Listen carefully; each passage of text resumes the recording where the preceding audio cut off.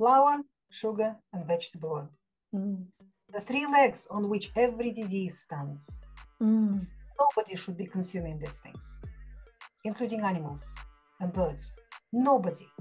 Mm. So these are the first three things to remove, and you will find no matter what diet you decide to follow in the world, you know, starting from carnivore where people live entirely on meat Yes. to vegan, you know, and with everything in between. The first two months, every improvement you have comes from removing processed carbohydrates, Absolutely. removing bread, pasta, everything made out of flour, sugar, soft drinks, breakfast cereals, porridges, you know, all them. That's something we can all agree on. You know, that comes up time all after time. Yes. So no matter what you're actually eating, Mm. the benefits in the first two months of you following any kind of diet come from removing these three things. So always remove them first. That is the most important thing. Uh, Dr. Natasha Campbell McBride, uh, welcome to my podcast, Your Body's Way. This is such a pleasure and an honor to be speaking with you right now. Um, first of all, how how are you doing? Thank you for inviting me. I'm delighted to be here. Great, great. Um, I wanted to basically just start the podcast um, just by first of all, um, just kind of telling you my my gratitude for the work that you've done. Um, I've been a massive follower of your work for um, gosh, God, since 2007 when um, Put Your Heart in Your Mouth, the book came out. Um, and it was the first time that I've actually read about you know um, the how we should be not afraid of fat and how you know cholesterol isn't a bad thing and you know all of the things that we've been advised to eat in the UK and around the world you just basically debunked it all and it was such a powerful book for me and um, I have to say that book is probably why I decided to like specialize in nutrition and to kind of go into it a bit more. So first of all, I just wanted to say a big, big thank you to you for that. That's a pleasure. I'm glad that you found that book because um, th- that propaganda has been launched um, in 1952, Mm. a long time ago now, more than 70 years ago.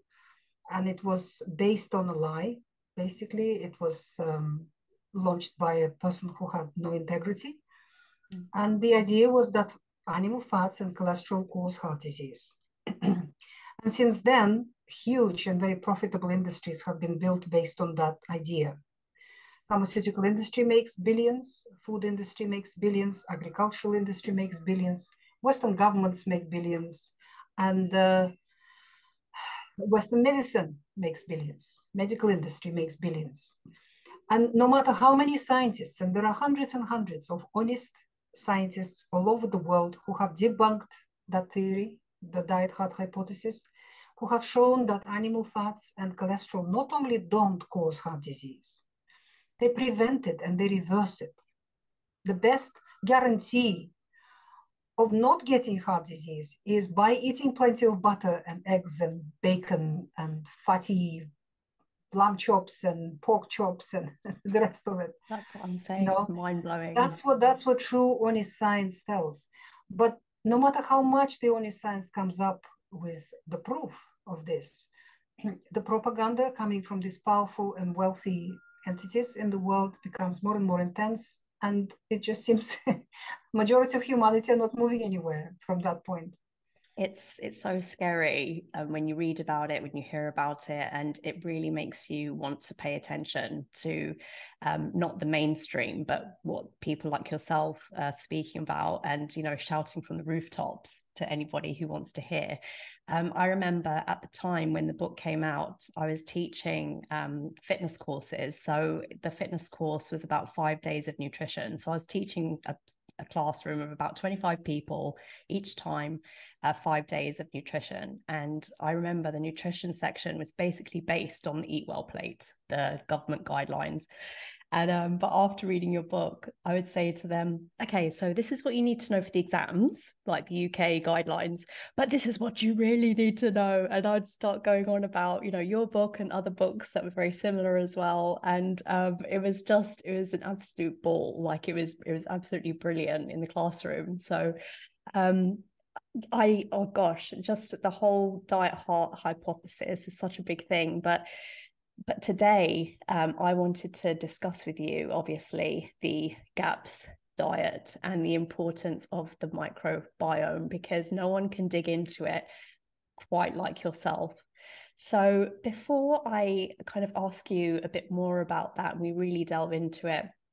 Um, I just first of all wanted to um, ask you about what you're doing at the moment in the UK because I know that you um, are a regenerative farmer and you are creating a um, a beautiful paradise basically from your home where people come and they watch you um, you know see how you do your farming how you look after the land.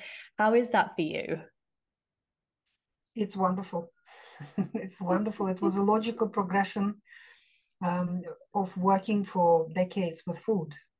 Because the more you work with food the more you realize that you have to produce your own food that's the only way to produce truly healthy and good food for yourself. Mm. When you put your love into it, and then it gives its love back to you. So 10 years ago, my family and I found a piece of land in, in Norfolk, in East Anglia. and uh, it was a very damaged piece of land. It was farmed conventionally by arable industrial agriculture for more than 100 years with chemicals and everything else. So there was no soil on the farm, literally we discovered that there was no soil. It was destroyed because that's what arable agriculture does. It destroys soil. Soil is the most precious part of nature. That's where all life begins and all life ends. If there will be no soil on our planet, there will be no life.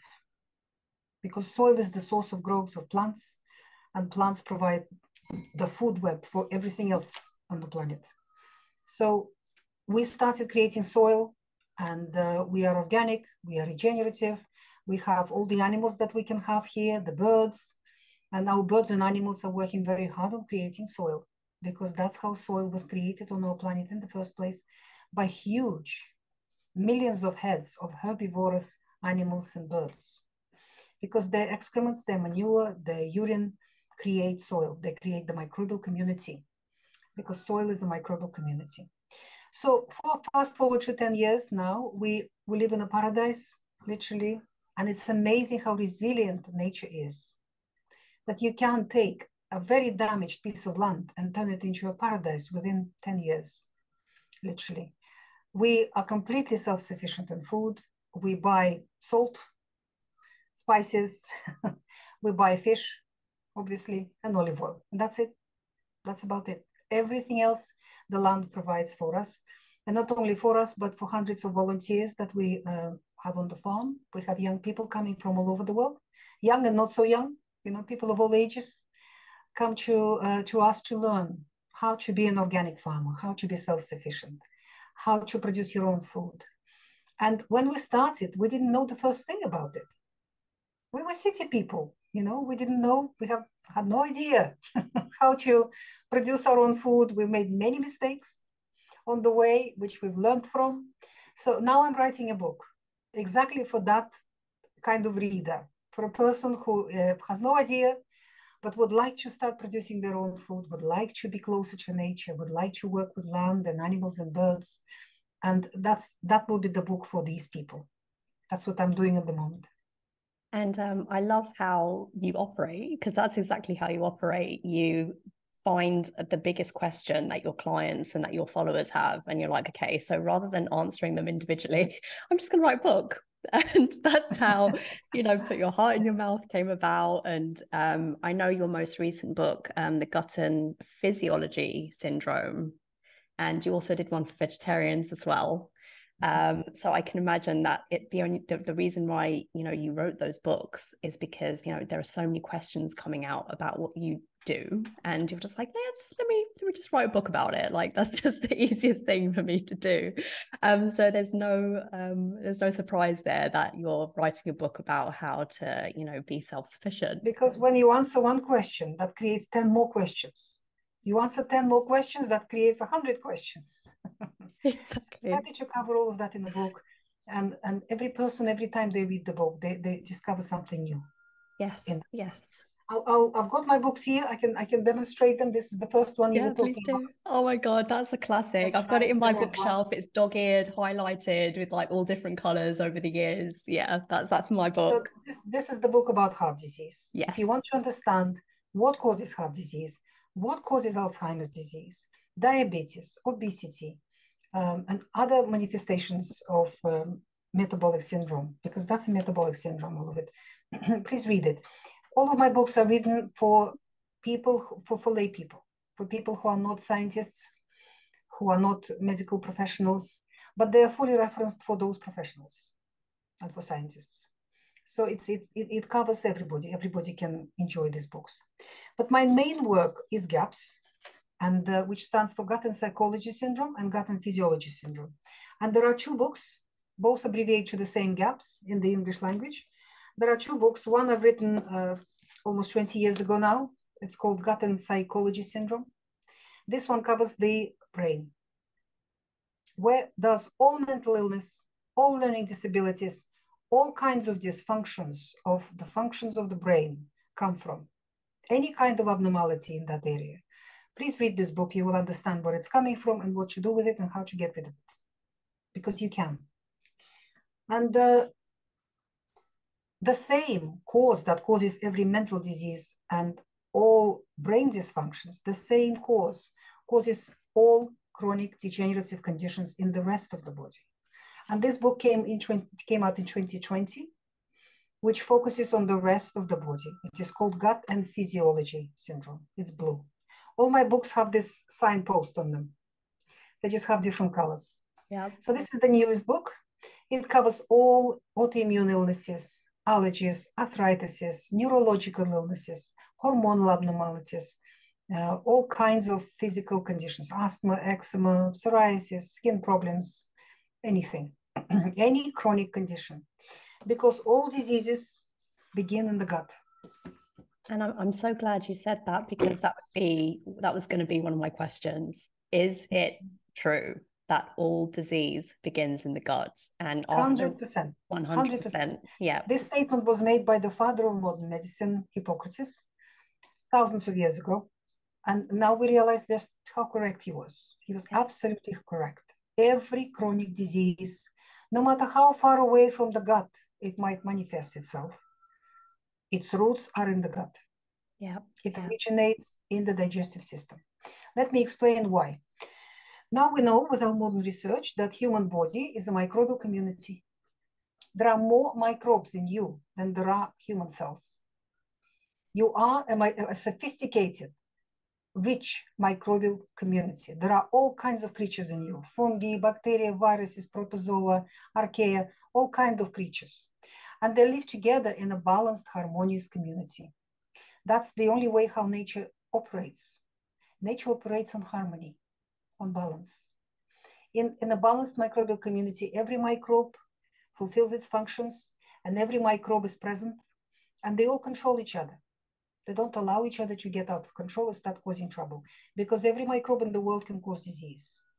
But as long as they are together in a balanced community, they regulate each other, they control each other, and they keep you healthy and well, full of energy, full of vitality, enjoying your life, having a body that serves you very, very well. If you ask any microbiologist, what is the most powerful influence on any microbial community in nature? The answer will be immediate food. Food. You change food supply to a group of microbes in a petri dish. Within a couple of hours, everything will change. Certain species will disappear, other species will appear, and the whole microbial community will change because food is the most powerful influence on any microbial community in nature. Where do we place food in our bodies? Into the digestive system, of course. That is why the majority of your microbial community in your body lives there, in the digestive system. That is your main ministry, that is your headquarters, that's your government, your parliament, you know, of your microbial community, your your your, your um, you know main um, military quarters, everything is, is there. Everything that makes decisions in your body is there in the digestive system because that's where you place your food. And that means that food is the most powerful influence on human health. because your body is a microbial community. There is nothing that can even get close to the effect of food on your health and disease as well. So whenever you get any chronic disease, any kind of chronic illness, it is food first and foremost that you have to look at and you have to change. Because there, there are there are so many different um, avenues that someone can look at health. They could say, "Oh, you know, my stress caused it," or environmental toxins caused it, or uh, you know, pollution and so on. Um, but you're saying no, food is the number one place number one visit. it's a key it's yeah. an absolute key because if you if your microbial community is strong and robust and healthy and properly fed and if your body is made out of quality materials because your body is made out of food that you eat on a daily basis. Your okay. body renews itself all the time. Cells are born all the time. Cells die every day. Many cells in your body only live a few days. Mm-hmm. They get old, they work very hard, they get old, they get, they die, they get shed off, and new baby cells are born to replace them. When the body gives birth to trillions of baby cells every day, it needs building materials to make those cells from something, right? Where do the building materials come from? From food. Yep, from food. food. So if you're eating poor quality food, your body is made out of poor quality materials. Right. And if you take two people, one person with robust, healthy body made out of quality materials, and a person with a body made out of rubbish, and you present them with the same kind of stress, this person will not even notice. They'll sail through it. The other person will fall apart yeah. from that stressful event. And toxins are also stress, chemicals, toxic metals, anything in the environment if you have a robust, strong body made out of quality materials, the way Mother Nature intended us to be, you'll sail through it. It'll be like water off a duck's back mm. or goose back, you know, and you won't even notice. You you will deal with that situation and uh, you'll be fine. But a person who is already weak and made out of who's, who's, who lives in a body that is uh, made out of poor quality materials, they will fall apart. They will have a, a nervous breakdown. They'll have that they'll uh, fall into physical illness, mental illness, or something else. There's um, there's this really powerful experiment that you quoted um, online recently, and um, it, it, basically explains the power of the microbiome, like what we're talking about here. So it's it's it's my wish that everybody listening to this episode comes away having a, re- a, renewed respect mm. for their gut microbiome. And oh my gosh, I need to start treating it with respect right now because that's how important it is. And so the microbiome, you know, it, it's in charge of digestion and detoxification and just so many ab- absorption. It has so many functions in the body. And to explain the power of it, you mentioned an experiment about two groups of mice and one group um, that they were they were both given mercury to like into their system, and one group um, had a healthy microbiome, and the other group didn't.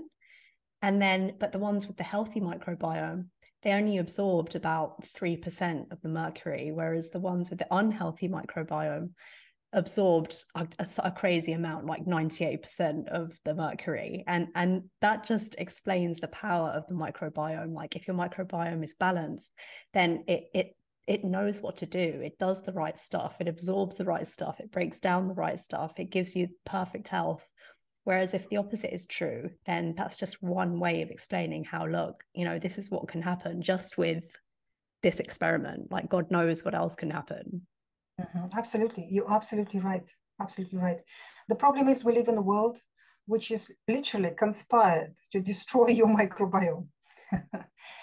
everything, if you're buying your food from a supermarket, everything you're eating for breakfast, lunch, and dinner, and in between, is full of antibiotics.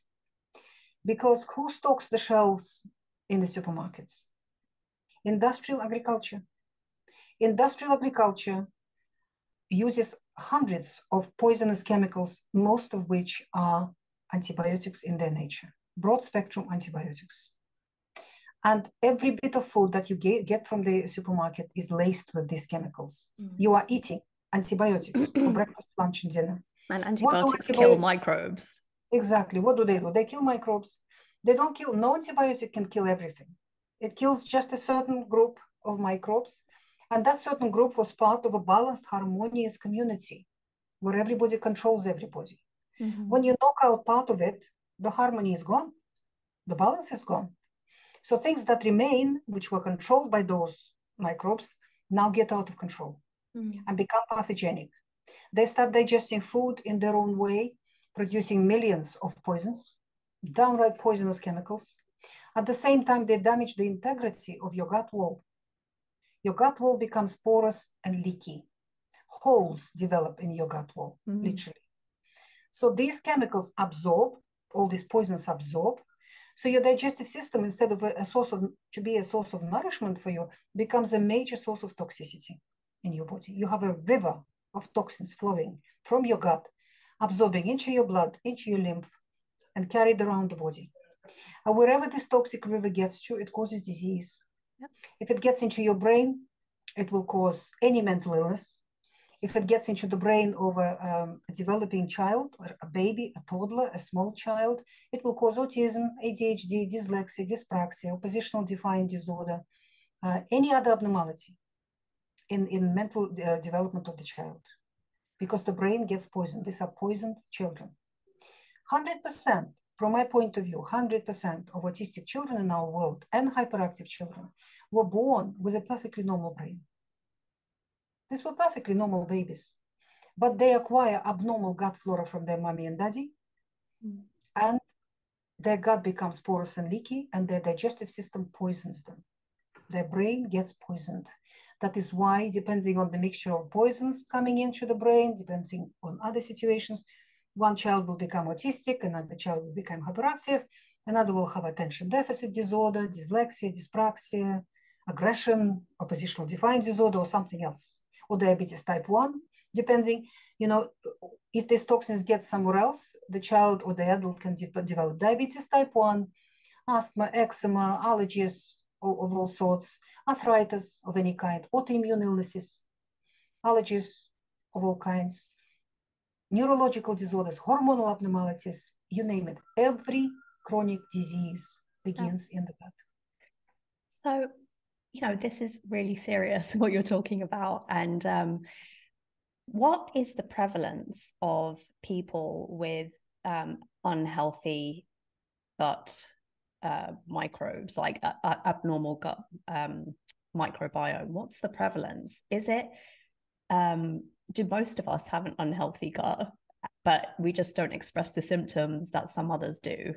Um, what is the prevalence? I wish somebody was counting. Yeah. Because in order to have statistics, somebody has to go out and actually research, mm. collect statistics, you know, ask people questions, analyze the data, and so on. Nobody's researching this at the moment. What percent of the world is has abnormal gut flora? Yeah, has damaged microbiome in their bodies. From my point of view, in the Western world, the majority. I was going to say, and yeah. The majority. And the problem is that um, with every generation, younger generations have it much worse than older generations. Mm-hmm. Many people in this world say, well, you know, we've created such a comfortable world, we're living longer, longer. Uh, so what we're going to do, kind of thing, expecting that their generation of 40 year olds, 50 year olds are going to live to their 90s. Not so, mm-hmm. not at all. Uh, people who lived into the 80s and 90s today were born before the Second World War. The whole planet was organic. Mm. Just think about that. Yeah. There was no other food, there was just food. Mm-hmm. And it was all organic. There were no vaccinations, there were no antibiotics, and their parents pass to them perfectly healthy gut flora, microbial flora, because mother and father pass their bodily microbiome to their child. Mm-hmm. The mother starts doing it during pregnancy, during nine months of pregnancy. She passes her microbiome to the baby. And then uh, at the moment of birth, as the baby goes through the birth canal, the baby swallows lots of microbes which live in mother's vagina, mother's birth canal. And that flora comes from two sources. One is the mother's bowel, her digestive system, mm-hmm. and another one is from the father. Because if the father has abnormal gut flora in, in his uh, gut, that travels out and populates his groin and all the organs in that area, and he shares it with the mother on a regular basis. Mm-hmm. So that's how Mother Nature organized it, so that the mother and the father pass their microbial community to the baby. If we look at those generations of elderly people, they were born uh, at the time when their mothers and fathers passed in intact, healthy human microbiome to them. And that is your constitution, basically. They've passed robust, healthy, wonderful constitution to these people. And then these people went through all the childhood infections, which are absolutely necessary for the child to go through because they mature the child's immune system. It's, it's, it's like universities, every infection like that, measles, mumps, rubella, chickenpox, and so on. They are like uh, a university, every one of them, for the immune system of the child. It teaches the child's body, the, the child's whole microbiome and, and, the immune system, how to live in this world, how to live on this planet, what kind of things they can encounter on this planet, and how to react to them appropriately. It is a fact, a known fact now, confirmed by many scientific studies, that people who went through these infections in their childhood, instead of getting vaccinations, virtually never develop allergies or autoimmunity or cancer because their bodies were properly educated how to respond to this environment, how to live on this planet. So those generations, you know, they got a robust constitution. They went through these infections in, in their childhood. They, they never had antibiotics in their childhood. But then antibiotics came onto the market in the Western world, certainly in developed world, in the 50s and the 60s. So if the parents at that time got maybe one or two courses of these antibiotics, because at that time they came out like as a wonder drug, mm. which has no harmful effects whatsoever. You can have as many as you like. And uh, those antibiotics damage the gut flora slightly, and they passed that slightly damaged gut flora to their children. Then their children grew up in a very different world.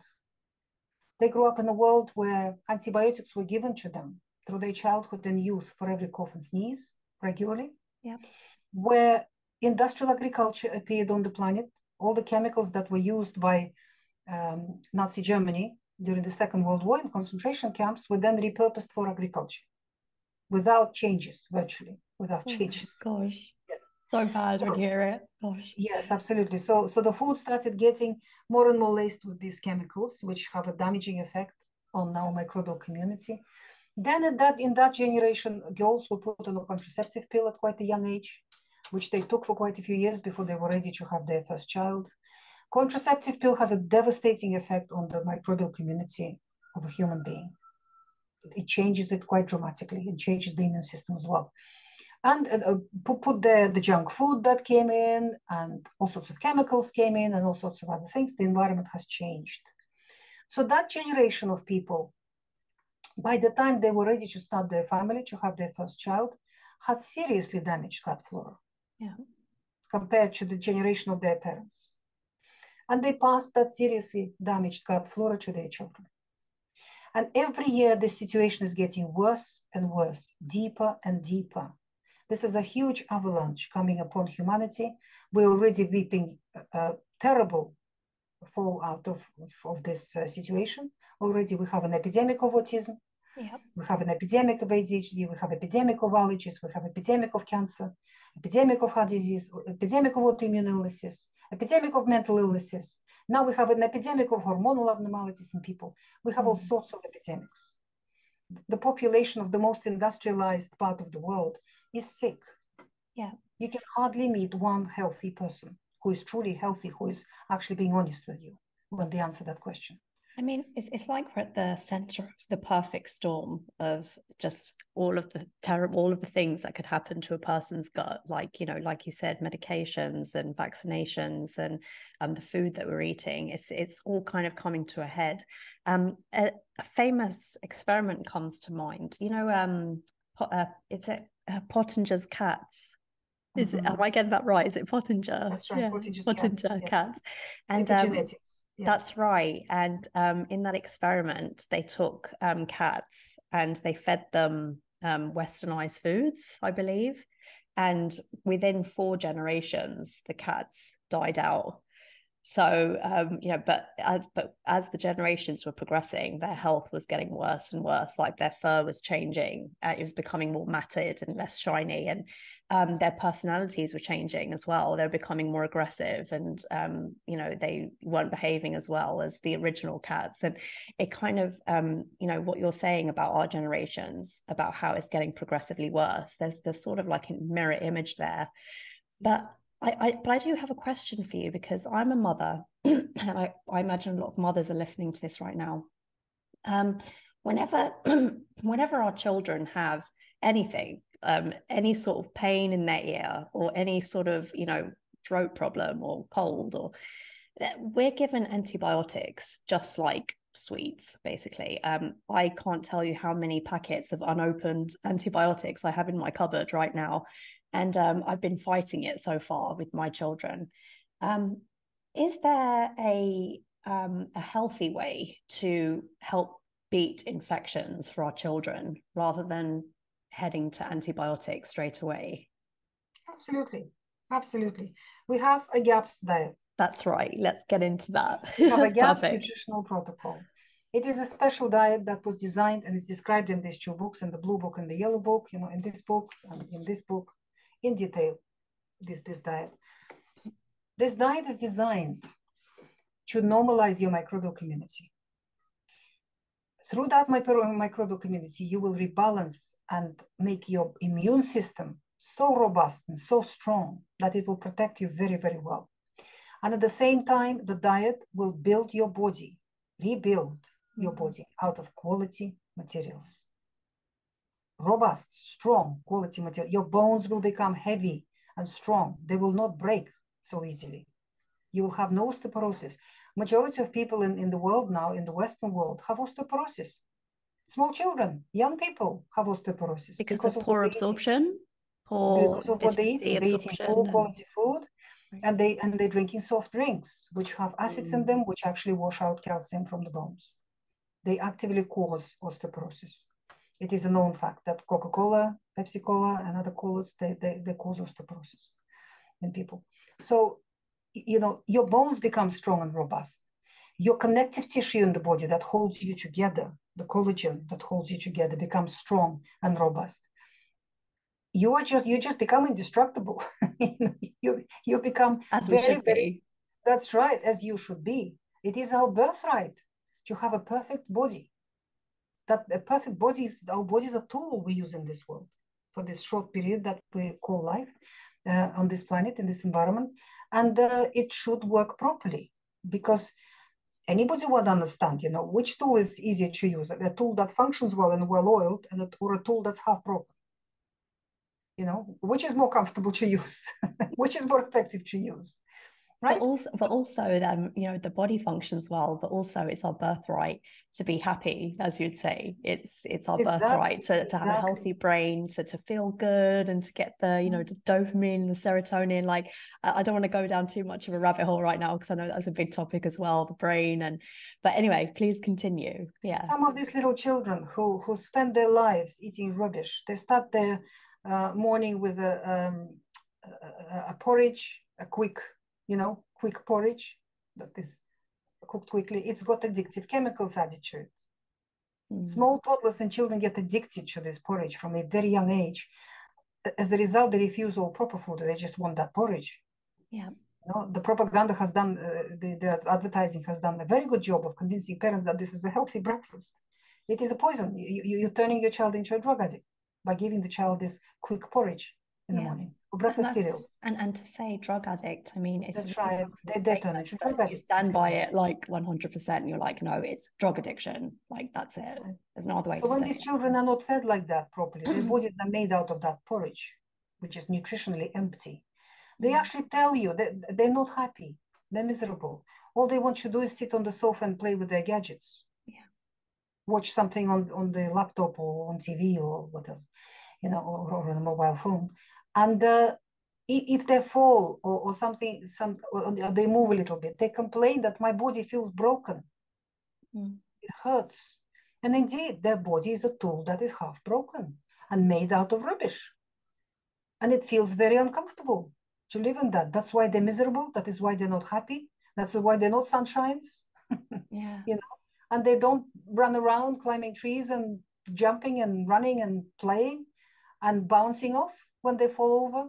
When they fall over, they fall over like 80 year olds. They can literally fall apart when they and fall I, over. And, and on top of that, um, because of the blood sugar roller coasters that they're on, um, to add insult to injury, it just means that they want even more of the stuff. You know, when their blood sugar levels crash, that's when they need more. They're just like, give me the next hit. And um, right. you know, that's that's, right. that's the, the the sad part. That's processed processed yeah. carbohydrates, which are heavily promoted by food industry, mm. by medical industry, by pharmaceutical industry, by governments, by every mainstream agency which are profiting from these things. These are high carbohydrate foods, processed foods.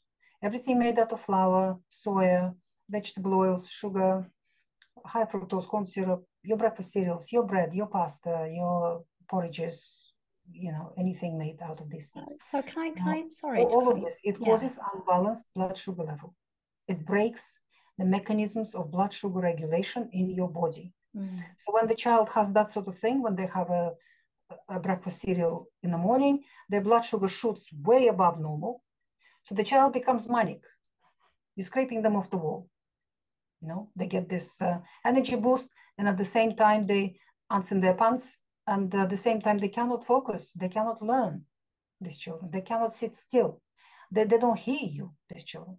But then half an hour later, an hour later, the the mechanisms that switch on in the body to get rid of that excessive blood sugar because blood sugar is such a thing that the body regulates very strictly yeah. and too high too low can kill yeah that is why the body has very strong mechanisms of bringing it down or compensating so when you've caused that boost of, of sugar in your blood half an hour later 40 minutes later it drops way below normal and the child then feels awful they've got a headache they're sweaty they're clammy they're unhappy, they're inconsolable, they may have tantrums or they become lethargic, you know, and, and they crave sugar.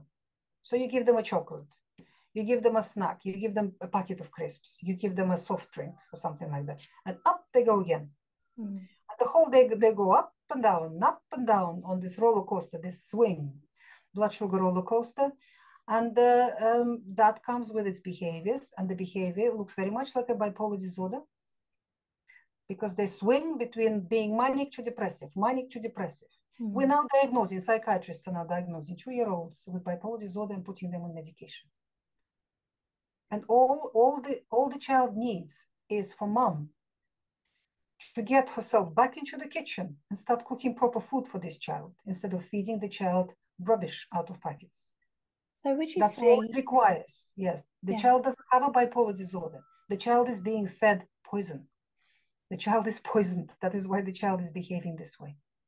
So would you say, I mean, you've just been describing a child who, um, when when they haven't eaten, they're, they're maybe sweaty, clammy, you know, climbing up the walls and so on.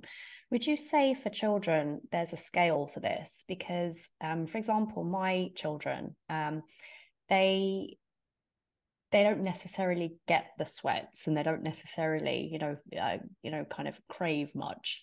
Um, so would you say that children are on a scale, but overall they're all on the same path, like eating the wrong foods, poor microbiome, and they all have a different um, scale of that reaction you just explained?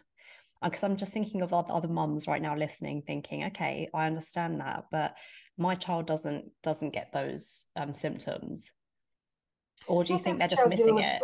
Yes, not every child is, is on a blood sugar roller coaster. Mm. And it's not necessarily uh, what would show itself as such drastic changes that can be diagnosed as a bipolar. Mm. But, you know, the, the, child can be mean, mm. the child can be tired, unhappy, and it manifests itself with allergies, asthma, eczema, uh, skin rashes, reactions to food, headaches, poor sleep, and just uh, clinginess, being clingy, not being able to focus at school, mm. being bullied, very much a sign of GAPS. 100% of children wow. who are bullied in school are GAPsters. That's, a, that's incredible. You change their diet, he will stop getting bullied. Because these children are weak. They're not only physically weak, they're, they're mentally weak and they're spiritually weak, most foremost, you know, most uh, importantly. They're spiritually weak because they live in a weak body. That is why the bullies sense it and they zero on those children. You change the child's diet, your child will become strong physically, mentally, and spiritually. Wow. And everything will change. So, um, when it comes to mental health, then, because um, I can't wait to get into the diet um, and how to actually solve this problem. But before we go into that, I'd like to just ask about uh, mental health and autism, depression that occurs um, in children and in adults as well. How does a um, abnormal gut flora lead to mental health issues? Because people don't usually make that connection. So, what is that connection? It's absolutely 100% connection. When I started talking about it 20 years ago, uh, you know, many people thought I was crazy. Now, now our science is coming up with um, study after study. There are dozens of studies now that came out which demonstrate that gut flora causes autism, gut flora causes schizophrenia, gut flora causes depression, gut flora causes rheumatoid arthritis, gut flora causes multiple sclerosis, gut flora causes every chronic disease. Yeah. So it's, uh, you know, it is scientific information now. This is not some conspiracy theory. Yes, yes. All. Right. So um, with autism, with mental illnesses, the child or the adult has abnormal gut flora. It's a gapster. This, purpose, this, purpose, this person is a gapster. What's a gapster? A person with abnormal gut flora, damaged gut flora. The gut wall as a result is damaged. It has holes in it. It's porous and leaky. So the food doesn't get a chance to be digested properly before it absorbs. Mm-hmm. It absorbs undigested. Mm-hmm. Practically every protein you eat, doesn't matter whether it's gluten, whether it's casein, whether it's protein from meat or protein from peas or protein from beans or soya or anything else like that, all of it will absorb undigested. Right. Then your immune system finds these undigested proteins in your bloodstream, looks at them and says, You're not food. I don't recognize you as food, and attacks them. Mm. It attaches to them various um, cells and structures, so it becomes a very big molecule. And wherever this molecule gets to in the body, gets stuck there, it causes inflammation in that mm-hmm. place. What is inflammation? Inflammation is a, a, an amazing, marvelous tool of the immune system for cleansing you, mm-hmm. for removing such debris, removing such contamination from your body. But inflammation feels uncomfortable because that place gets swollen and it's red and it's hot and it doesn't work and it mm-hmm. hurts. It's painful. So what do people do when they get inflammation? They run to the doctor and the doctor gives them a drug to stop inflammation. Yeah. So what have you done? You, you, you bashed your immune system on the head so it cannot function by this drug. It's lying on the floor and hardly breathing, your immune system. The only agent that you have in your body to protect you from that contamination. So people start reacting to food because food doesn't digest properly. You start developing multiple food allergies and intolerances. Some of them are anaphylactic, some of them are not. You know, some of them are recognized by mainstream medicine, some are not recognized by the mainstream medicine, but you are reacting pretty much to every food you eat. As long as your gut wall is like a sieve, mm-hmm. you're absorbing all of your food undigested. Doesn't matter whether you remove this food or you remove that food, as long as your gut wall continues having holes in it, you will continue reacting to every food you eat. What we do with GAPS protocol, we heal and seal the gut wall. Right. That's the whole point new. of the GAPS diet to heal exactly. and seal the gut lining. Yes. That's right. We build a new gut wall for the person from mm. young, newly born cells, because, uh, you know, cells that line our gut only live two days, two, three days. Mm. They have a very short lifetime. And uh, so we have a real chance to renew the gut wall fairly quickly by giving birth to trillions of new cells, which will seal all those holes. We're building new, healthy, robust, strong gut wall for the person. So you could start to see benefits within a couple of days in that sense. Some people see benefits that quickly, other people, depending how deep the damage is in the yeah. body and how far from the gut the toxins have accumulated. Okay. Apart from the um, undigested foods, a river of other toxins are absorbed through these holes mm-hmm. in the gut wall because these microbes, which turn pathogenic now, they convert the food that you eat into millions of poisons. These poisons absorb as well and they distribute around the body and cause disease. cause trouble everywhere. Mm-hmm. The immune system initially would use inflammation uh, because that's a tool that is ready to go. You don't need to do anything with it. You know, the immune system just get, grabs it and uses it. But then the immune system has other tools which require some time to develop, some time to sharpen, to create. So that's autoimmunity. Autoimmunity is another powerful tool that the immune system has. Mm-hmm. So if a toxin has absorbed from your digestive system and it keeps coming and keeps coming because you keep eating the same things, and the same pathogenic microbes in the gut convert this food into the same poisons, and this, so these poisons keep coming. Every poison in the body looks for a compatible place, a dock of mm. sorts, a harbor where to park itself in your body. So they find molecules where they can fit in, sort of, like a like a hand in glove, pretty much. In majority of cases, that's your collagen, because three quarters of all protein in the human body is collagen. It's an elastic molecule which creates the so-called connective tissue in the mm-hmm. body. And that's the structure of your body is made out of this molecule. The skeleton of your bones, the skeleton of your muscles, all your fascias, all the capsules of your organs, the sheaths where your nerves are traveling, the walls of all your cardiovascular system, the lining of your heart, the arteries, the veins, the capillaries, your skin, you know, all of it is connective tissue. They're all made out of collagen largely. And collagen is a magnet for toxicity. Mm-hmm. It has the structure of molecule, which is actually quite universal for various, all kinds of toxins to dock, to attach themselves. When a toxin like that attaches itself to a molecule of collagen, your immune system finds it because your immune system always goes around surveying yeah. everything in your body, checking everything. And it finds this dirty collagen molecule, contaminates it, looks at it and says, You're not mine. Mm-hmm. So, first, the immune system would use inflammation to clean it up. Mm-hmm. Inflammation is perfect cleaner. It will remove the toxin and leave your collagen nice and clean. But it, uh, it's uncomfortable, it hurts, it swells, and so on. But if inflammation is not enough, and on top of that, you're taking anti-inflammatory medications that you got from the doctor, a month or two, the immune system realizes inflammation is not enough. Yeah. It by then will learn the configuration of that dirty collagen molecule, that mm-hmm. contaminated collagen molecule, and start producing specific cells called antibodies, which will come and gobble that molecule and remove it, mm-hmm. destroy it, basically. And you go to a doctor, the doctor takes a blood test and finds these specific cells mm-hmm. in your blood and says, Oh, you've got an autoimmune disease. Mm-hmm. Your immune system is attacking your body. And now mainstream medicine believes, uh, they made you believe, that um, in this situation, your immune system has gone silly, doesn't know what it's doing, attacking perfectly good tissues in your body. So what we need to do, we need to bash your immune system on the head with a big stick, so it just falls on the floor and can't work anymore. So they start giving you drugs for autoimmunity, which basically destroy your immune system. Yeah. The reality is that your immune system is never misguided. It's never silly. It always knows what it's doing. Yeah. It is not attacking clean collagen in your body. It's attacking dirty collagen, contaminated collagen, contaminated tissues. It's cleaning you up. Yeah. It's dealing with the situation. Once you've made your immune system disabled, through taking these medications from doctors, nobody's cleaning you.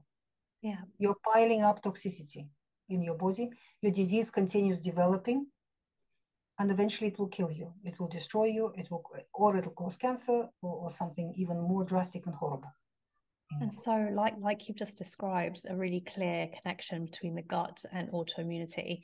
Um, those clear connections exist with basically every condition that a person can be faced with, including um, mental health issues and um, basically any other health issue that you have.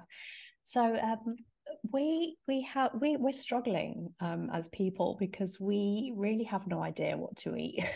um, there's so many different um, pieces of advice, and even even people like yourself, um, there are so many other people who are at the top of their game and they have, you know, they, they've been studying this for, you know, their a lifetime. And, you know, even they have different advice. You know, everyone has different advice. So, first of all, um, you talk about toxins and poisons and what are some of the biggest offenders that we should be looking out for and then how can we go about um, starting a, a, GAPS diet protocol? Like, how does that start? Because I know there's three different phases to it. So, um, first of all, what are those biggest offenders that we should start thinking about taking out today? The biggest offenders in terms of food. Yes. yes. Wheat and sugar. Wheat and, and sugar. Vegetable. These so are the that, three that, things that be flowers, every, like flour, pastas, breads, and yeah. Okay. You know, we are surrounded, my farm is surrounded by industrial wasteland of arable industrial mm. fields. Mm. All they grow in rotation is wheat, sugar beet, rapeseed. Mm. Then again, wheat, sugar beet, rapeseed. Flour, sugar, and vegetable oil. Mm. The three legs on which every disease stands. Mm. Nobody should be consuming these things, including animals and birds. Nobody. Mm. So these are the first three things to remove, and you will find no matter what diet you decide to follow in the world, you know, starting from carnivore where people live entirely on meat yes. to vegan, you know, and with everything in between. The first two months, every improvement you have comes from removing processed carbohydrates. Absolutely. Removing bread, pasta, everything made out of flour, sugar, soft drinks, breakfast cereals, porridges, you know, all that that's something we can all agree on you know that comes Absolutely. up time all after time yes. so no matter what you're actually eating mm. the benefits in the first two months of you following any kind of diet come from removing these three things so always remove them first that is the most important thing then look at what your body needs mm. and the biggest offender you know talking about offenders in the world now is vegetarianism pro-vegetarian propaganda plant-based lifestyle because it is it is now uh, pumped very powerfully in a very powerful way uh, upon the whole of humanity by Western governments, by governments all over the world, who are funded by the industrial complex, mm-hmm. industrial and military complex, by those global corporations which own everything, starting from agriculture to pharmaceuticals to food industry to medical industry to governments. Mm-hmm. They own governments as well. So this propaganda comes to those people from those people, from mm-hmm. them. Why? I describe all of this in detail in this little book called Vegetarianism Explained, where the whole pro it's quite thin, it's got nice book pictures, so it's easy to read. the old signpost as well. that's right, but it's a signpost, that's right. And it's uh, um, easy to read for teenagers, easy to read for any person, but it's fully referenced for scientists and for, for professionals. What we need to understand that and I only understood this when I became an organic farmer myself.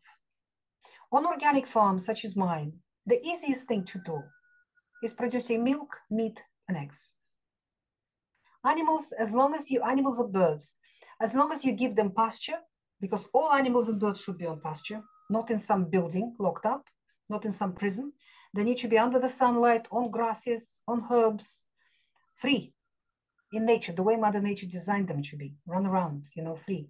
So as, as, as long as you provide them with that kind of environment, you are busy maybe in the morning milking, mm-hmm. feeding them, letting them out, and in the evening putting them back to bed. Half an hour or so in the evening. That's it. The rest of the day is free. You can hold a full-time job somewhere if you need to. and at the same time have a farm and have your own meat, your own milk, and your own eggs. They're literally easy. But when it comes to growing plant matter on an organic farm, vegetables in particular, that's where all the hard work is. That's when 24 hour labor comes in. Because, you know, the yield is unpredictable on an mm-hmm. organic farm because the weather changes, you know, it rains at the wrong time, the sun shines at the wrong time, or some insects run away from some farmer's field where he sprayed some chemicals and found my organic garden. Oh. You know, you can do everything by the book and your carrots just don't grow you don't know what have I done wrong. Yeah, that must be hard for you. But it's like, what went wrong? I did everything right. they just don't grow. So you never know when you're seeding in the spring, you never know what yield you will get, what will grow and what will not grow. Every year is different because the weather is different. Everything just changes every year. So that is the hardest thing to produce, vegetables. That is why humanity historically didn't eat vegetables. Mm-hmm because they were always because there was no industrial agriculture. It was difficult to produce. When we come to the industrial agriculture, these two things swap. Mm. Producing plant matter is easy. The yield is predictable, guaranteed, because the scientists have hybridized the seeds, they've coated the seeds in all these chemicals. Every seed is not a seed, it's a pellet, coated in, in, in all sorts of chemicals. And there's a machine for this and a chemical for that. So, in the farmers, it's all been worked out beautifully. Yeah. So the farmers are given these special machines, these chemicals, this special seed, all in pellets, hybridized. Now you plant the seed on day five, you spray this, on day 20, you spray that, on day 25, you spray this, and it works. You get yield, you get guaranteed yield, you, you mm. have no weeds. It all looks beautiful, ordered, you know, like, like plastic cabbages, you know, it's straight rows. Perfect. Yeah, right, perfect for the supermarket. And one farmer can serve thousands of acres, right. one human being. And soon they will replace them with robots anyway. Easy peasy to produce, and it's profitable for them to produce plant matter. But when it comes to producing meat, milk, and eggs, it's expensive, it's heartbreaking, and it doesn't work. And it's uh, uh, it, it, causes them losses. It, it's not profitable for them because animals and birds just don't comply with industrial agriculture. Mm. What you obey its techniques, techniques and, and rules, because all animals and birds need to be on pasture. Right. They need sunlight. They need rain. They need more than 60 herbs and grasses growing in the pasture. Needs to be organic. They need to be loved and they need to be out there, mm. you know, in the fresh air. And you need to move them all the time. You can't just build a fence and lock them up and forget about them. You have mm. to move them every few days. Yeah. So the pasture survives and grows. They don't destroy it. And they get fresh grass all the time and fresh herbs. And, and the chickens get fr- fresh worms and insects that they dig. That's their meat. Mm. You know, do you know where the yellow color in the egg yolk comes from? Um, oh gosh. From herbs and grasses that right, chickens yeah, eat yeah, in yeah. abundance. Carotenoids in herbs and grasses turn the, the egg yolk into almost orange yellow color. And that's vitamin right. A. That's very nutritious for us. Do you know where the yellow color comes from in a supermarket egg? Um, gosh, grains? From a synthetic dye added into their feed. No way. Which wow. one's going to give you good health? Yeah, well, obviously, so chickens orange, and turkeys yeah. need to be on pasture. They cannot be locked in some cages in yeah. misery. Yeah, fed synthetic, uh, uh you know, agriculture synthetic feed, God knows what, and then murdered at, at, at, a very young age, you know. And it's what what the industrial agriculture has done because it's profitable for them to produce plant matter, and unprofitable to produce uh, meat, eggs, and meat with their model where they take all the animals and chickens and, and birds from pasture and lock them up in these prisons called CAFOs, mm. confined animal factory operation. Hence and why they're pushing many, vegetarianism, many veganism. Exactly. You see many films of the cruelty of those places. Mm, yeah. Absolute horrendous cruelty yeah. of those places. And people watch those films and think, all right, I'll become a vegan. Mm. What you're doing, you're playing right right. into the gate of this, right into the basket of these uh, monopolies, mm. of these um, global corporations. They want the whole planet to be vegan because that's where their profit is. And they want to get rid of animal husbandry because it's, it's unprofitable for them. On top of that, they invested billions into synthetic meat, synthetic milk, synthetic eggs. Synthetic meat is already in supermarkets. Synthetic milk is already in supermarkets. Eggs are coming. Real animal husbandry is a competition for these products. Mm. That is why Western governments now are dead set on destroying animal husbandry. You probably have seen what's happening in Holland, what's happening in other European countries. They're destroying animal husbandry. They're trying to get rid of all animals in, in the farms. So, so people what, eat synthetics. So, so what's the best thing that someone can do um, like straight away if they want to start supporting um, you know con- the continuation of farming of animals and like the healthy um, farming and like how how can we go about supporting that there are hundreds of real organic loving farmers in every country mm. we've got hundreds in britain so the first thing that everybody should do in cities in towns in villages everywhere you must abandon the supermarket mm we should stop buying our food in supermarkets. Go to your local farmers market, talk to the farmers there, get their contact details and ask them, can I visit your farm? Mm-hmm. A real organic farmer will be delighted. Yeah. Because they've got nothing to hide. There will be no bags of chemicals for you to see. Mm. There will be no refrigerators full of antibiotics and steroids for you to yeah. see. You will see that animals. So everybody's got weekends. Mm. Put your kids in the car, take your dog, and go and have a lovely day visiting a farm. You know, and uh, you will see animals on pasture. You will see chickens on pasture. You will see a human being that you can look into his eyes and see that you can trust this person. Mm-hmm. This is a person who loves his land, loves his animals, loves his chickens, loves his soil, loves his gardens, and, and, and does everything with love. So his food that he produces carries energy of love Mm-hmm. because food is information. Yes. We eat information for breakfast, lunch, and dinner. What kind of information are you buying in the supermarket? Mhm. You're buying information of abuse, greed, suffering, pain, grief. How are you going to get good health from that? Mm. When you buy from a farmer, directly from a farmer like that, you're buying love. Every piece of food that you'll be eating from there will carry energy of love, information of love. Only that energy can give you good health. Yeah. No other information can give you good health. So once you found a few farmers like that around your city, it just takes one Saturday to drive around and stock up for the week Mhm. for your family. Not only you will be feeding your family the best food possible, but you will be supporting good farmers because organic farmers in the Western world are under great pressure from the governments. The governments make their lives miserable.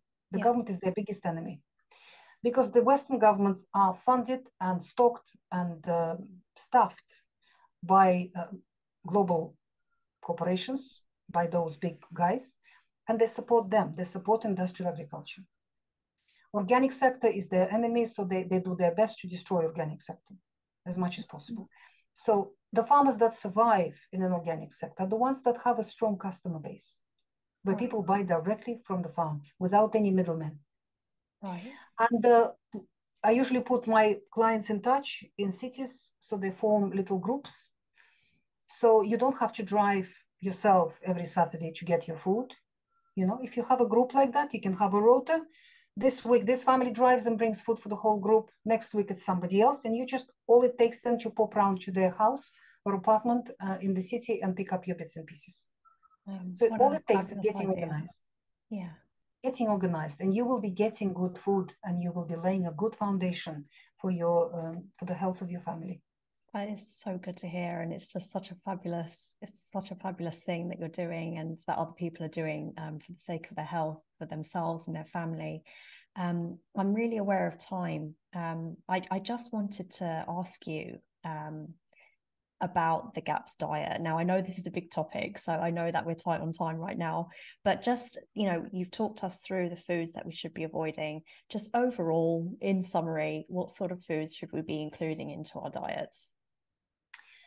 What we need to understand and i describe it in every book but if you want to have a quick summary please read this book this vegetarian book and give it to everybody who considers to become a vegetarian or, or a vegan uh, what i explained here that mother nature gave us two groups of foods Mm. animal foods and plant foods. Animal foods are meat, fish, eggs, and dairy. Plant foods are grains, beans, nuts, seeds, plants, vegetables, fruit, you know, things like that. So, human digestive system is not designed to digest plants because the basic fact that we've known from 1930s from basic sciences is that the only things on our planet that can truly digest plant matter are microbes microbes Mm. Mother Nature used that scientific fact in creating the digestive system of herbivorous animals cows, goats, deer, giraffe, antelope, and so on. Mhm. It gave them huge stomachs with several, several stomachs. A cow has three enormous stomachs, which collectively are called rumen, full of microbes, stuffed full of microbes. So the cow is not digesting the grass herself. It's that microbial community in her rumen that digests the grass for her. They do the work for her because no other creature on the planet can digest plants, only microbes. We human beings haven't got a rumen. We have one tiny stomach, very small compared to the cow, and only one. Thank God. And this stomach, that's right. And this stomach produces hydrochloric acid. The acidity can go down in pH down to one when you're mm. hungry. Very hostile environment for any microbes. That is why a healthy stomach in a person and a healthy person is virtually sterile. It has virtually no microbes in it. But this acidic environment and other elements of the stomach juice are ideal for digesting meat, fish, eggs, and dairy. While plants do not digest at all in our stomachs, they need microbes to be digested. Mm. And they land into a sterile environment. So the only things that human stomach is capable of digesting are meat, fish, eggs, and dairy, animal foods. Then this whole mixture gets passed into several meters of intestines where absorption of food happens. And the only things that can absorb are the things that got properly digested. So not plants. Plants, again, just may give some juices, a few vitamins, a few minerals, a few little cofactors there. But the bulk of what your body is made of comes only from animal foods, and that is protein and fat. When we analyze human protein and human fat in a lab, we find that they're almost identical in their biochemical structure with proteins and fats which come from animal foods meat, fish, eggs, and dairy. Mm-hmm. Plants have lots of proteins, lots of fats, but they have a very different biochemical structure, incompatible with our protein and our fat it's very difficult for the human body to convert plant protein and plant fats into our structure and very easy to absorb proteins and fats from animal foods. So animal foods are the foods that feed and build your body, yeah. the body you live in. It makes your body, they make these, these foods, they nourish you properly, they feed you properly, they make your body strong and robust. Plants do not feed us. They can't.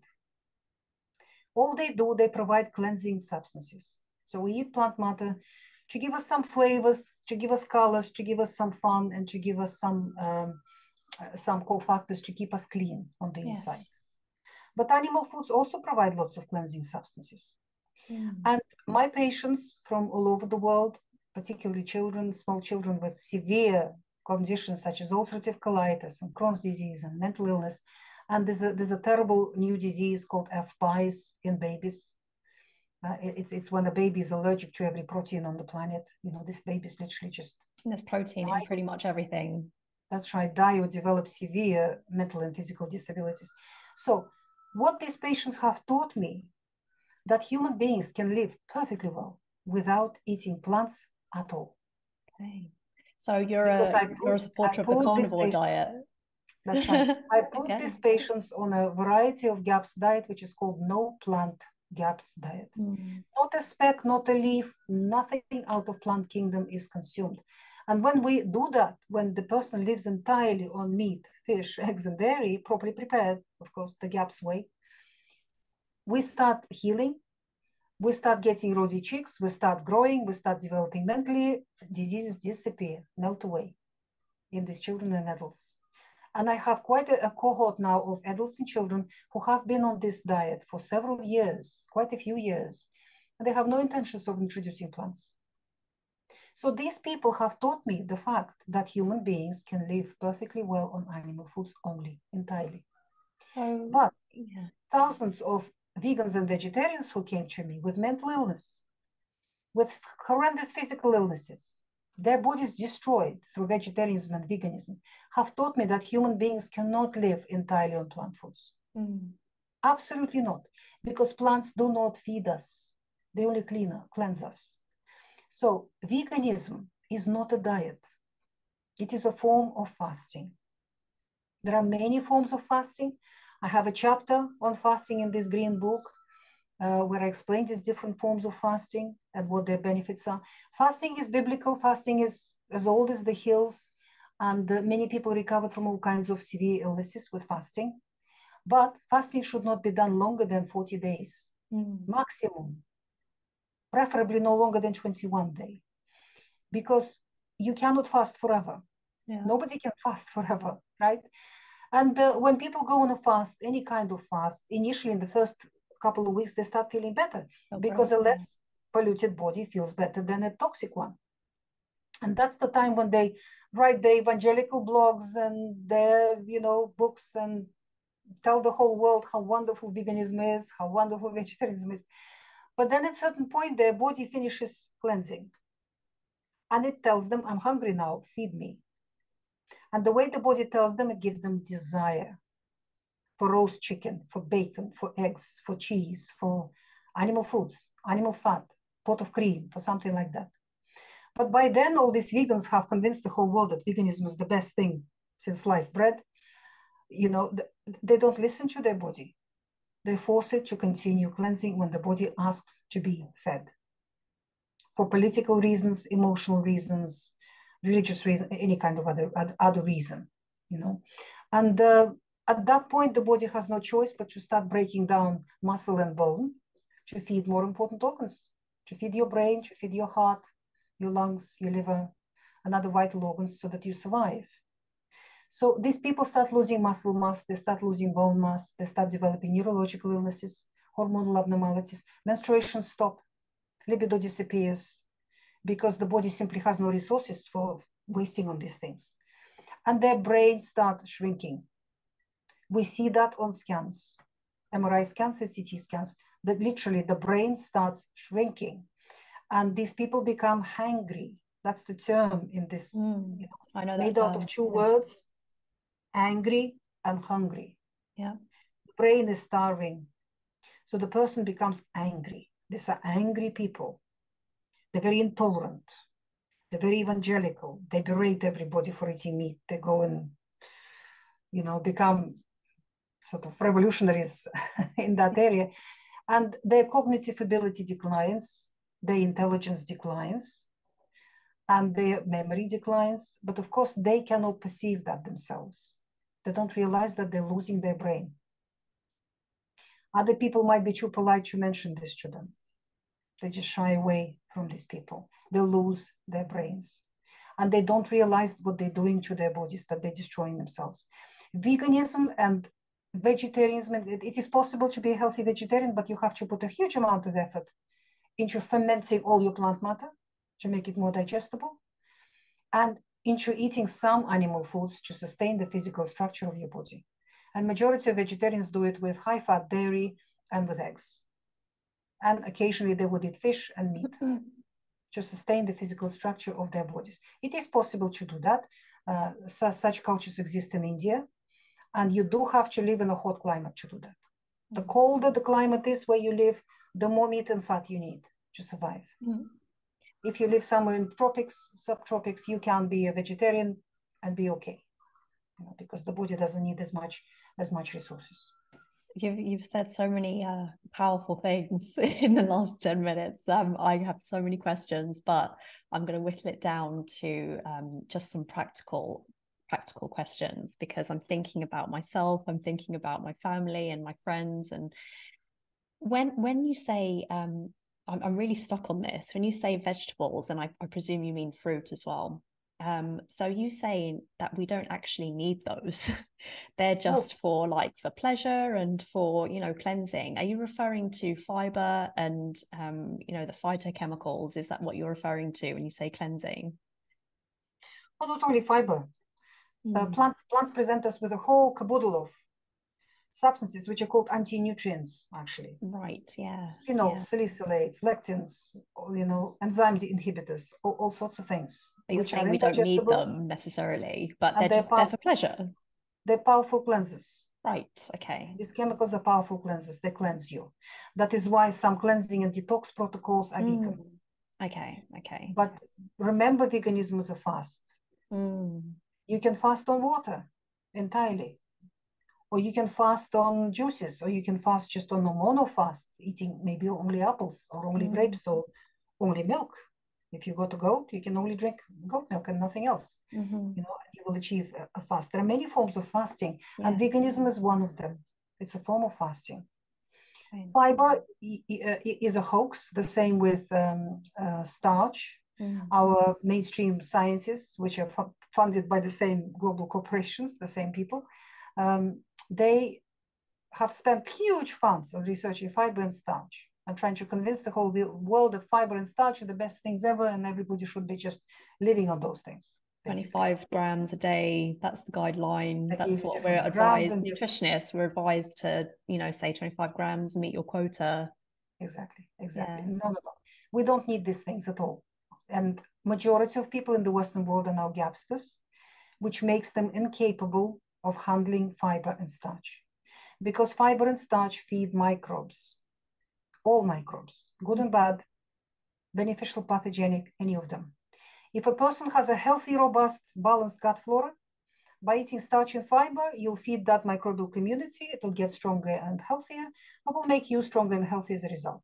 Mm-hmm. Problem is, how many of those people are left in the world with our chemical activity and our chemical load? Majority of people are gapsters. And if you have pathogenic gut flora mm-hmm. with pathogenic microbes dominating there, fiber and starch will feed those microbes make them stronger and bigger, and they will make you very sick. Okay, so if someone has that is why fiber flora, and starch, then it cause more harm than good. That's right. That's how fiber and starch have become the enemy of humanity. Generally speaking, anything the mainstream tells you, you have to turn upside down, and then you will see the truth. Interesting. I think I'll put that on like a quote. Anything you see, turn upside down. I like that. Um, so basically, what what I'm gathering from you is base your diet around animal protein because that's what we're designed to to eat. Um, have fruits and vegetables um, by all means, but you know have them for pleasure and you know just maybe use them for a fast. Um, what are your thoughts on bone broth fast then in this case? Because your your first stage of your gaps is basically a bone broth no. fast, right? No, no, no, no. There are two. Uh, there is a, a, misconception in the world called the bone broth. Right. No, okay. In the GAPS diet, yeah. we use meat stock. Right. There is a difference between the yeah. two. We do that's not right. use bone broth. We use meat stock. Okay. Meat stock is made out of a chunk of animal where you don't remove anything. There's yes, a bone right. in the middle. There's a joint. There's meat. There's skin. If it's pork, got everything. You know, yeah, everything's there. And you put that in a pan and you fill it up, cover it with water, add salt and spices, and cook for three, four hours. Yeah. And the stock that results of that is clear, delicious, beautiful. That is called meat stock. Mm-hmm. And that's that is what we're using in the GAPS diet. The meat that you've made the stock with is delicious, wonderful, makes a fantastic meal. Mm-hmm. Several meals. That's what, what we use. This meat stock is rich in collagen. Mm-hmm. Remember, three quarters of your body is collagen, of protein in your body. Yeah. Yeah. You, as we live in a toxic environment, particularly if you're a gapster, you are damaging your collagen, you are losing your collagen. Mm-hmm. That is why the result of that, when people start losing their collagen, they start bruising very easily. You know, you've lifted a chair and you got a bruise on your hand. You think, my goodness, I haven't done anything. Why? Um, because the blood vessels are made out of collagen. You're losing collagen. Your blood vessels are becoming weak. Mm-hmm. They break easily. You become clumsy because your joints become weak. They don't give you good support. You start getting back pain and subluxation of your vertebrae because your whole spinal column is hundreds of joints mm-hmm. and every joint has ligaments and capsules and liquid inside and all the other surfaces all of which are largely collagen mm-hmm. you're losing that so your spine becomes loose doesn't give you good support so you start getting back pain in different places you become clumsy, you, you start getting prolapse of organs, your organs are hanging too low, giving you various symptoms because every organ hangs on ligaments and capsules, which are made out of collagen. You can have hernias, all sorts of things happen. I described this situation uh, in the blue book. Right. In detail. Right. So, because um, I know that the the GAPS diet is uh, made up of stages. So the first stage is um, meat stocks and introducing, um, you know, softened softened vegetables, you know, so that they're easy to digest, and then you move on to the actual GAPS diet, which can last years or a lifetime. There are several varieties of the GAPS yeah, diet. Yeah, several stages, so yes, you need to study it. It's a very complex and long subject. It is, yeah. We can't go into it now. um, so, so anybody who's listening, um, in Natasha's book, um, in most of her books actually, um, the uh, diet is broken down, and also I have to say, um, plenty of YouTube presentations as well by yourself where you you go into it in a lot more detail. So um, there's plenty of resources for people to find on how to actually take on the GAPS diet. And just one last question: um, Would you say that the majority of us could you know, benefit from going on the GAPS diet um, in course. some way. Yes, that's what I thought. Absolutely, absolutely. I live on it. Yeah, I live yeah. on it. Yes, I live on this diet. I keep my whole family on this diet, and as a result, we're never ill. Yeah. yeah. we can withstand any stress. Mm-hmm. We're strong. You know, so GAPS diet, I say, makes you strong, not only physically but mentally. So you're not so easily bamboozled and deceived by the mainstream, and uh, it makes you spiritually strong. Mm which is very important. Veganism makes you weak physically, mentally, and spiritually. So you are easily deceived, easily bamboozled, and easily taken advantage of. So I, I think everyone, everyone in the Western world in particular needs to go on a GAPS diet, at least temporarily or at least partially. Right, until... read the book. Until mm-hmm. all... read the book. Okay. Um, and I presume your illnesses are over until you yeah. recover from your various illnesses, because majority of people are um, are living with a poor health. Yeah, they just get used to it. They don't know any other different, and they consider maybe like that's even something like rashes or headaches or insomnia. You know, things that we get every day that we think nothing of. You know, that's a sign, right? That that's something's not right. So maybe the GAPS Absolutely. diet is a good place to start for everyone. Absolutely. Yeah, I love that. Oh gosh, this was such a fabulous conversation. And like I, I was getting some goose pimples, I have to say, towards the end when you were kind of on a rampage about um the stomachs and the animal proteins. I was just like, wow, my gosh, everything just kind of comes together, doesn't it, when you think about it in that sense? But um how how is the best um how is the best way for people to find out more about you? I mean, obviously you're all over the internet, but what is your preferred way of people to find you? My main website is called gaps.me yes. gaps.me, me. I can actually put it into chat, I think. Mm. That might be easiest. Yeah. Because I have several resources. Gaps.me, that's my main website. Okay. For people who would like to get trained mm. in different aspects of uh, GAPS, we have gapstraining.com.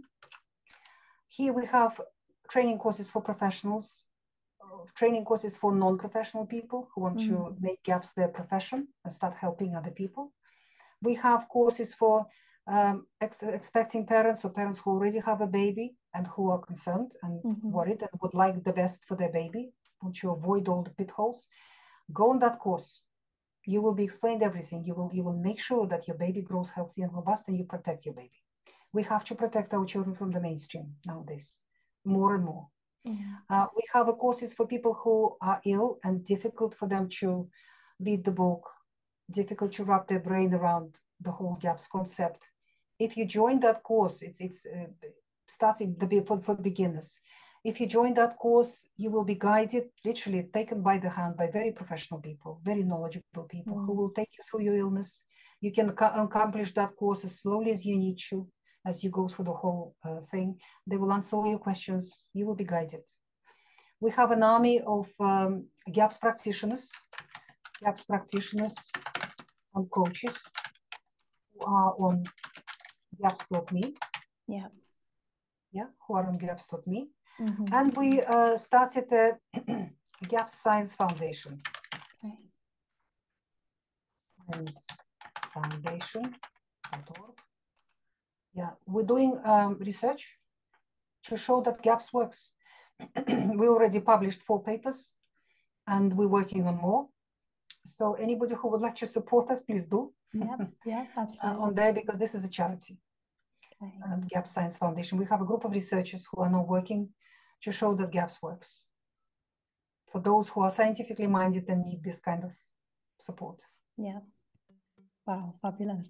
Well, I mean, your work continues to be incredible, and um, you're continuing to um, make a huge impact um, in the world. So, um, again, thank you so much. Thank you for the work that you do, and thank you for coming on to this podcast and just sharing your knowledge um, I can see you're passionate about it and it's your life, and um, I just I really appreciate that. So um, I just want to say a big big thank you again, and this was absolutely fabulous.